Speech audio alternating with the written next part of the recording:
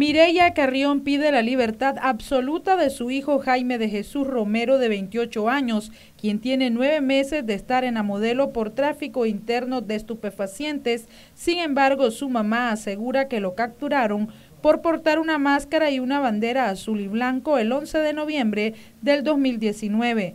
Mi hijo se llama Jaime de Jesús Romero Carrión. Mi hijo fue detenido arbitrariamente el 11 de noviembre del 2019 él se encuentra en el sistema penitenciario La Modelo. Mi hijo presenta problemas en su piel, estómago, migraña y psicológico. Bueno, nosotros lo que le pedimos es que nos apoyen para que nuestros presos políticos salgan, salgan libres por esta pandemia que nos está azotando, ya que el gobierno no ha acatado las leyes que se les están imponiendo a ellos. Entonces nosotros lo que queremos es la libertad de nuestros hijos inmediatamente para que estén con nosotros los familiares.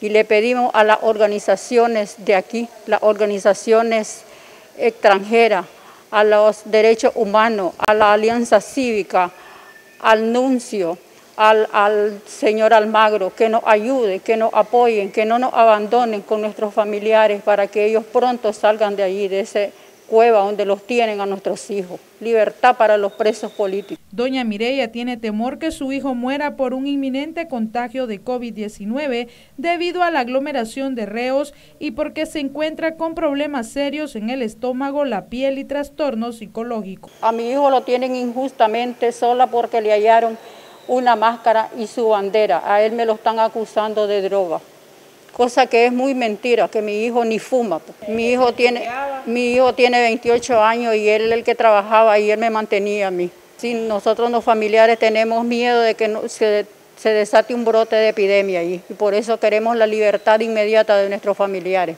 Para Noticias 12, Castalia Zapata.